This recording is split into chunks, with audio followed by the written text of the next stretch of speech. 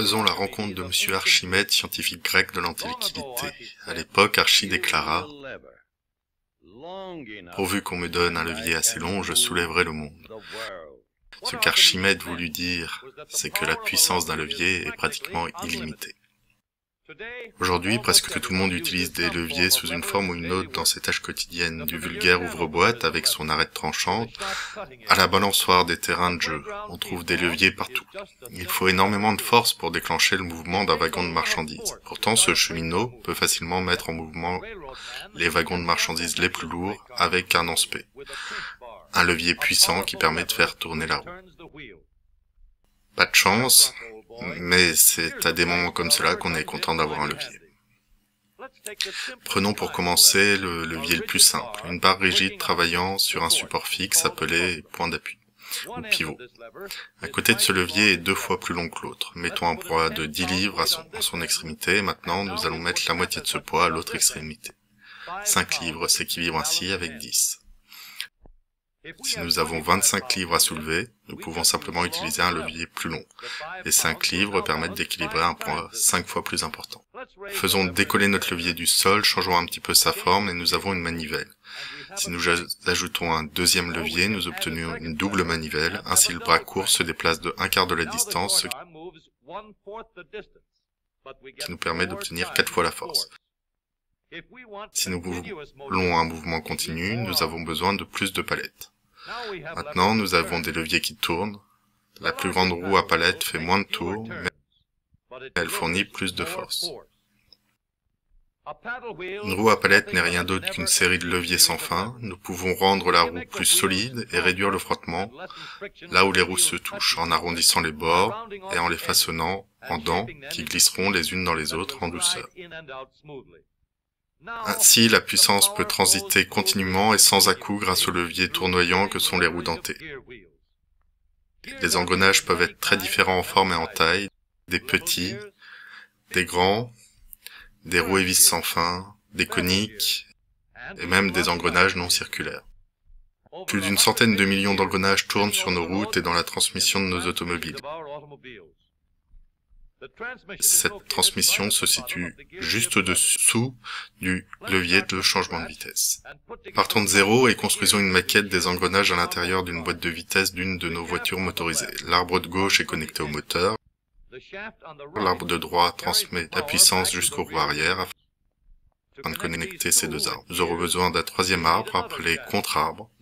Ces deux roues dentées transmettent la puissance de l'arbre moteur vers l'arbre intermédiaire et sont toujours connectés, engrainés. Cette roue située sur l'axe allant aux roues est libre de tourner autour de l'arbre. Nous allons l'engrainer avec une autre roue sur l'arbre intermédiaire.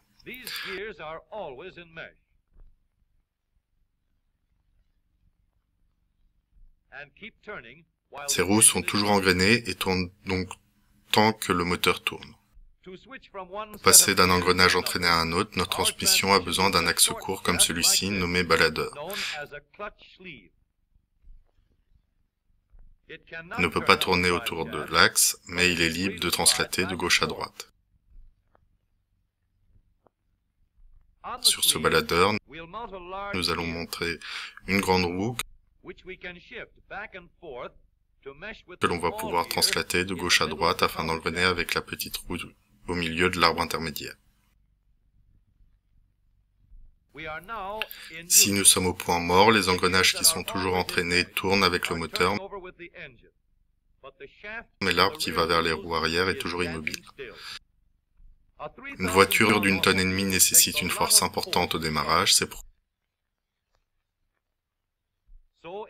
à faible vitesse, nous obtenons le plus grand effet de levier en laissant la petite roue du contre-arbre tourner avec la roue la plus grande de l'arbre des roues motrices. Sur cette maquette, le moteur tourne à une vitesse constante de 90 tours par minute. En première, l'arbre des roues tourne ainsi à 30 tours par minute, environ le tiers de la vitesse du moteur, mais une force multipliée par 3. La puissance est transmise à travers ces engrenages pour cette vitesse.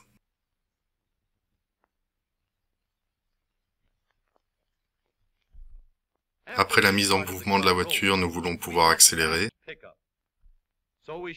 Nous passons ainsi la seconde en translatant le baladeur afin d'engrainer sur cette roue de l'arbre des roues arrière.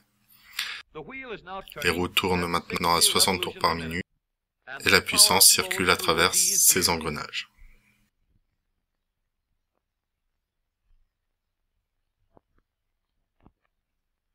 Pour aller encore plus vite, nous transmettons directement la puissance vers les roues arrière. Nous translatons le baladeur vers l'avant afin qu'il soit entraîné directement par l'arbre moteur.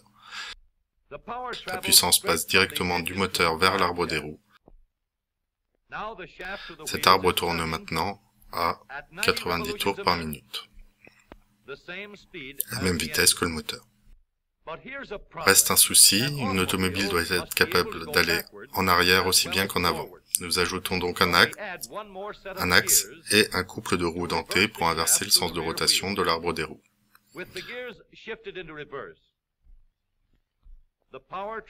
En marche arrière, la puissance parcourt ce trajet dans la boîte de vitesse. Nous avons maintenant trois vitesses pour aller en avant et une marche arrière. Avec un levier de changement de vitesse, on peut passer d'une vitesse à une autre. Mais avec tous ces leviers tournoyants dans la transmission, les changements de vitesse entraînent bruit et usure. Des spécialistes peuvent passer les vitesses en douceur grâce à un changement de vitesse qui se fait pile au moment opportun. Mais la plupart d'entre nous faisions beaucoup de bruit, jusqu'à ce que des progrès en ingénierie aient rendu possible les améliorations qui ont suivi. Quand on change une vitesse, il y a collision car les roues ne tournent pas à la même vitesse, elles ne sont pas synchronisées. Donc les ingénieurs se sont remis à leur planche à dessin pour développer un synchroniseur. Ce synchroniseur fonctionne comme un bouchon rayé au sommet d'une bouteille. Le bouchon va tourner jusqu'à ce que l'ajustement fasse que la bouteille tourne avec lui. Le synchroniseur fonctionne de la même manière. Quand on passe à une vitesse supérieure, le synchroniseur amène les engrenages à la même vitesse avant qu'elles n'engrainent. Le tambour ne laissera pas les engrenages glisser s'ils ne tournent pas à la même vitesse. Quand les roues se rejoignent, il n'y a pas de collision et la translation se fait silencieusement et facilement. Donc les boîtes de vitesse des automobiles récentes, nous trouvons une première permettant d'avoir un effet de levier important au démarrage. Un moteur tournant rapidement doit mettre en mouvement la voiture. En seconde, nous changeons l'effet de levier pour aller plus vite avec la même vitesse du moteur. Troisième, la puissance va directement aux roues arrière et nous pouvons aller aussi rapidement que l'on veut. Désormais, tous les conducteurs peuvent changer de vitesse à tout moment sans se soucier de la vélocité du véhicule. Voici une pente qui va nous permettre de démontrer à quel point les leviers tournoyants de nos transmissions fonctionnent de façon silencieuse et fiable. Cette conductrice va laisser sa voiture atteindre les 100 km par heure dans la pente